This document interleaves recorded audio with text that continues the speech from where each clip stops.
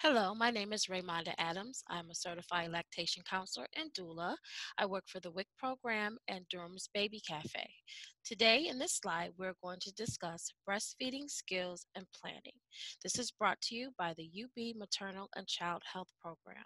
I'm going to hide my video now so that you can concentrate on the slides.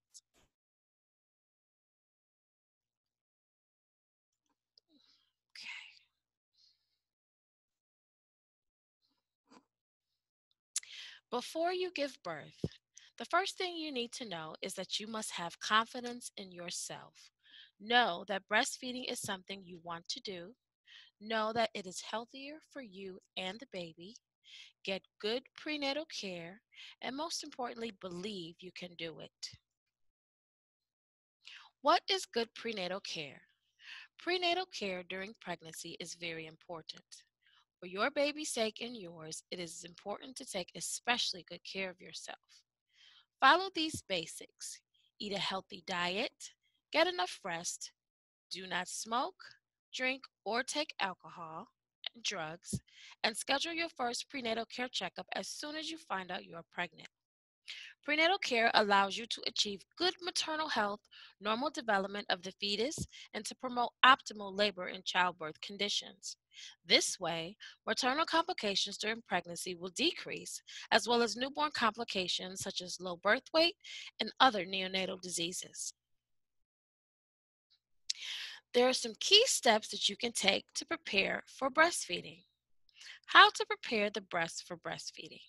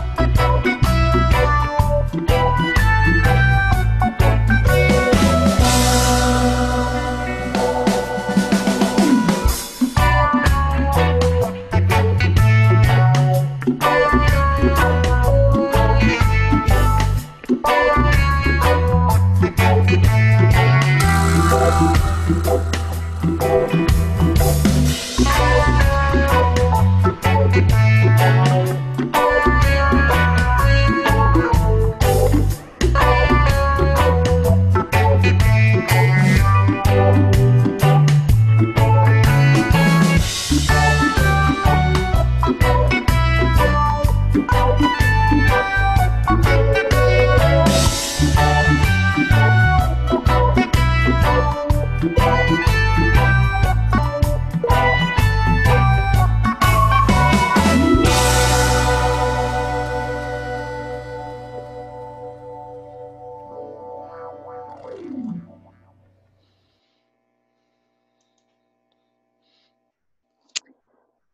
things you can do before you give birth. Talk to family and friends about how they can help you with your breastfeeding journey. Let your partner, family, and friends know of your desire to breastfeed. They should be willing to show love and appreciation for what you are trying to do for you and your child. Make sure that they're a good listener. Make sure you get enough rest and have help around the house. Talk to the older children about breastfeeding and what they can expect to see and things that they can do to help you. Talk to family members with breastfeeding experience and be honest about your fears and concerns. Learning to breastfeed. Learning to breastfeed takes time and patience. Breastfeeding is natural, but sometimes it does not come naturally. So, there are some ways to make the process easier. Skin to skin contact, which is having baby directly against your bare skin. Breastfeed as soon as possible after your baby's birth. You make milk in response to your baby suckling at the breast. Time spent breastfeeding in your baby's first few days prepares your body to make lots of milk. Let your baby stay in your hospital room. Tell the staff not to give your baby formula, sugar water, or pacifier unless medically necessary. Avoid fake nipples and pacifiers until your baby is skilled at latching, and this usually takes between three to four weeks. This will help avoid nipple confusion. Your milk in the first few weeks. At birth, you will have colostrum. This is a thick yellowish fluid. It's in very small amounts, but this thick fluid is early immune protection for you and your baby. 12 to 24 hours after birth, baby will be drinking about one tablespoon of colostrum for, per feed. Three to five days after birth, mature white milk begins to come in. And four to six weeks after birth, your white milk will be fully in and flowing well. Colostrum is very important for new babies. Fore milk is rich in water and other nutrients to help keep your baby healthy and hydrated. And the hind milk at the end of the feed is rich in fat and calories, which your baby needs to grow strong and healthy. Follow your baby's lead. Follow a baby led latch style of breastfeeding. Some tips on how to get started are look for hunger cues rooting, open mouth and turning head, fist to mouth, licking lips, sucking of the tongue, and fidgety. You want to create a calm environment for you and your baby.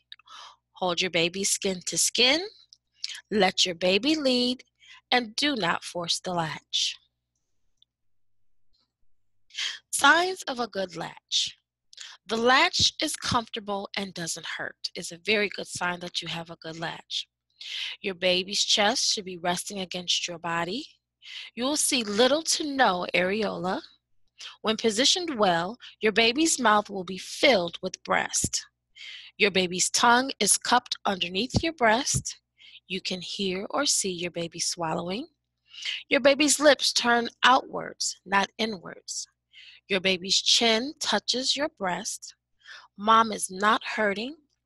Baby is drinking and swallowing, gaining weight, has enough dirty and wet diapers each and every day. Getting your baby to latch. The most important part of a good latch is to get your baby to open wide. The mouth should cover the areola, lips are flanged out. Here are some common breastfeeding positions.